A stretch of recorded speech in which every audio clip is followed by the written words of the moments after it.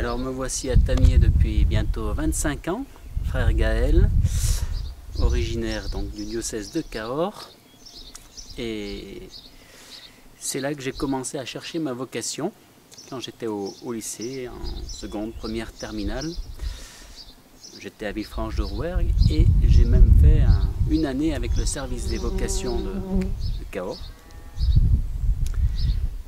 Mais à ce moment-là, j'ai discerné que j'avais plutôt une vocation pour la vie religieuse que d'être prêtre dans un presbytère, dans un diocèse. Et euh, j'ai choisi d'abord une communauté religieuse enseignante. C'est comme ça que je suis parti à Lyon. Et ensuite, au bout de quatre années d'études à Lyon, où j'avais fréquenté le monastère de Tamier pour des retraites vers Noël chaque année, j'ai décidé d'aller voir d'un peu plus près. J'ai fait un stage et au terme du stage, l'Esprit Saint m'a saisi et j'ai compris que c'était là ma place pour être heureux.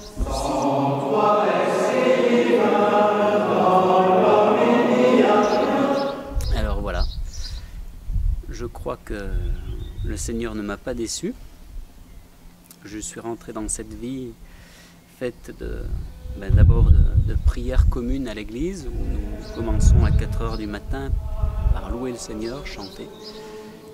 Nous poursuivons par les laudes avec l'Eucharistie chaque matin, et puis euh, c'est scandé par euh, au total sept offices dans la journée jusqu'au soir.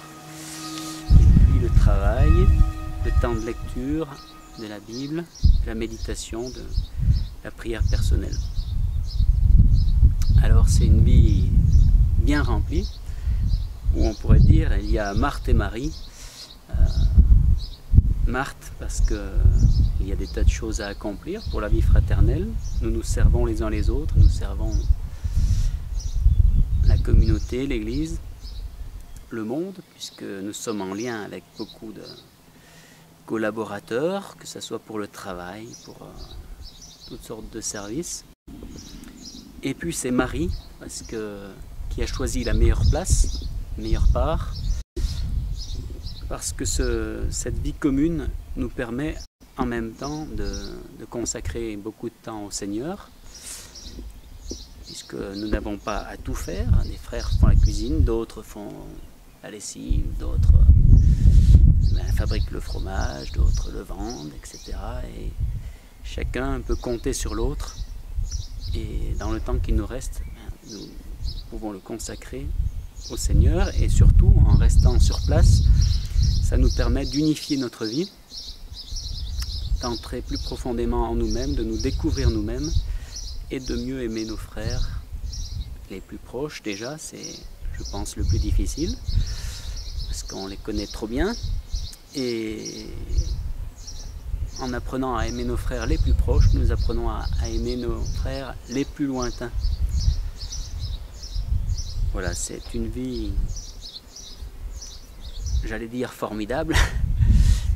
Euh, c'est une vocation, un appel du Seigneur et nous prions chaque matin au noviciat pour que tous ceux que le Seigneur appelle puissent répondre déjà dans leur vie quotidienne